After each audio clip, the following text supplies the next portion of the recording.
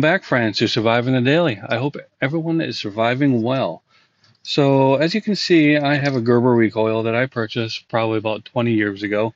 I bought it, I believe, from Walmart for approximately 40 to 50 dollars. I did look that up to see how much they were going for around that time. And it got a lot of use, and I had no complaints about it at the time. And, uh, but as you can see, that it eventually did fail right there. There is a pivot point that looks like that that is missing.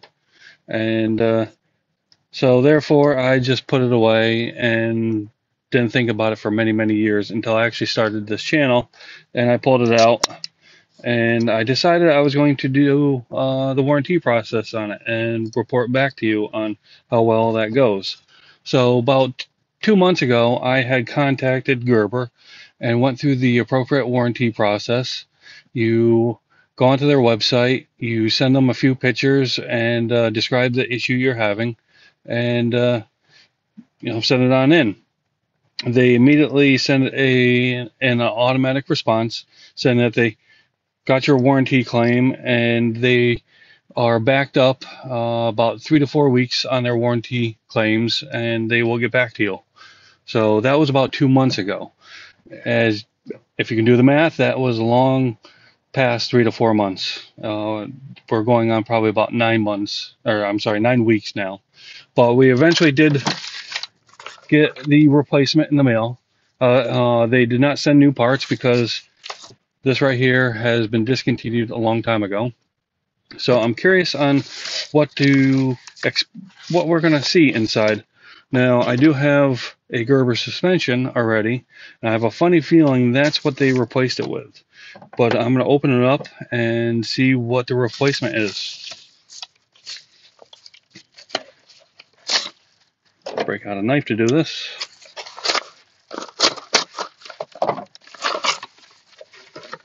And it is not a Gerber suspension. It is a Gerber diesel. I'm not quite sure what the value of that is, but this is built in the USA just like the recoil uh, unlike the suspension. That's pretty awesome. I'm not even sure I've even heard of the diesel, but uh, with all their faults, Gerber actually came through with an awesome replacement. I'm very pleased. Now I'm going to open it up and check it out. Careful not to cut myself on camera.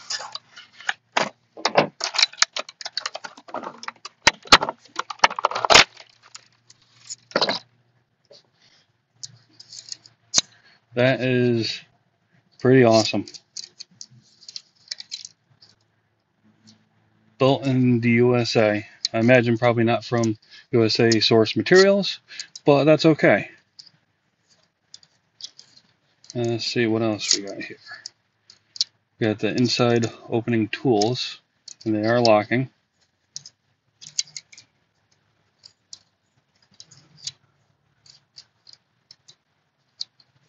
Now, I am very curious on what the value of this is. But